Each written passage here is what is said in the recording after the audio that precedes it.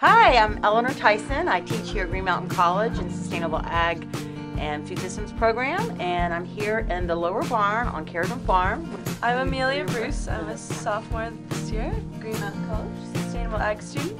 And uh, this is Elm, lovely Elm, Alpine Goat, just had twins at 1 o'clock today. Just a couple hours ago.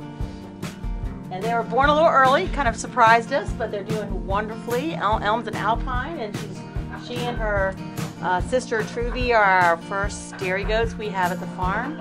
And so now that they're, um, Truvy's still pregnant, and she'll have hers maybe next week. But now that we have the babies, we'll soon have milk.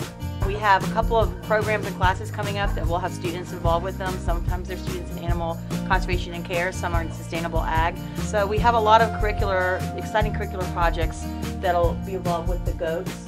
But right now we're just happy to have them safe and born healthy and fluffy.